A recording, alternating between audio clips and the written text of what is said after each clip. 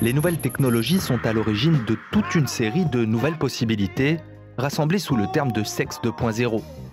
En 2014, on peut ainsi faire l'amour avec des lunettes connectées, on peut s'étreindre à distance, un Américain sur six l'aurait déjà fait selon une récente étude, et sommet du plaisir virtuel, on peut même maintenant coucher avec un robot. L'application en question s'appelle Good to Go, qu'on pourrait traduire par euh, bon pour y aller, ok pour y aller. Elle a comme ambition de proposer à celles et ceux qui l'envisagent une sorte de consentement mutuel avant toute partie de jambon l'air. Actuellement leader européen, Glidon et ses 20 millions d'euros de chiffre d'affaires fait des envieux. Beaucoup tente de se faire une place sur ce marché. Adultère.ch, SwissInfidelity.ch et bien d'autres. Donc il y a des gens qui peuvent aller euh, sur un site de rencontre pour retrouver euh, l'âme sœur, euh, la future mère de leurs enfants ou leur futur mari et autres.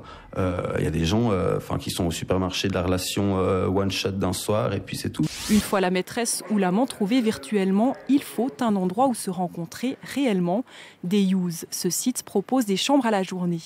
Des hôtels cosy, 30 à 70% moins cher que pour une nuit, paiement cash sans la moindre trace.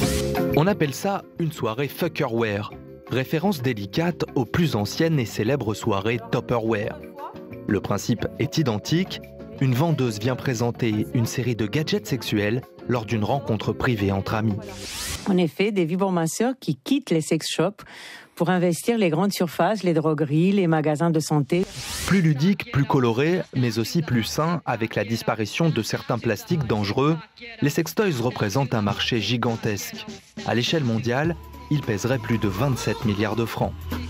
En tout cas, cela semble correspondre à un besoin féminin nouveau, puisque selon certaines études, 40% des femmes sont familières des sextoys et beaucoup d'autres aimeraient les essayer. Parfois technologiques, sous l'influence croissante des contenus pornographiques sur Internet, notre sexualité a en vérité peu bougé en Europe depuis deux décennies.